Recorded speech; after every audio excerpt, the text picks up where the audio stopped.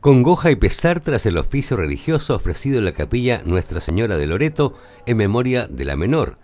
En el adiós, la niña de 8 años de edad, Constanza Collado Ordóñez, fue despedida por sus compañeros de la Escuela España, profesores del establecimiento, sus amigos y también amigos de la familia que vive este profundo drama, con la menor fallecida y su madre y su hermano heridos grave en el incendio registrado en el barrio archipiélago de Chiloé se recordó a Constanza como una niña inteligente, alegre, cariñosa y muy querida en la escuela. Para la escuela es una pérdida muy dolorosa, estamos muy tristes.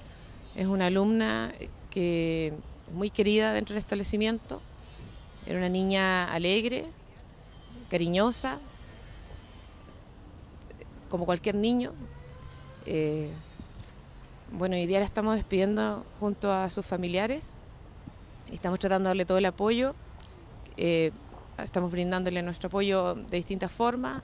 Amiga, sí.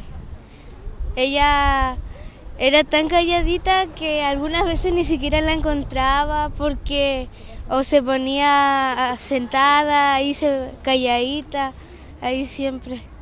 Bueno, yo soy amiga de la mamá, de la Patricia Ordóñez, y conocí a su hijita. Eh, también compañera de, de mi hijo, de Dylan, de curso.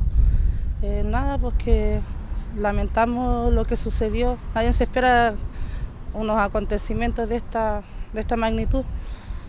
Eh, no, era una niñita muy, muy inteligente, bastante, era muy cariñosa, amaba mucho a su madre, como ella también. Se efectuó una campaña solidaria ya que la familia perdió todo y a las 21 horas una cadena de oración hacia su madre y hermano. Más allá no hay consuelo y reflexionaban sus amigos, no se entiende cómo suceden estos hechos que causan tanto dolor.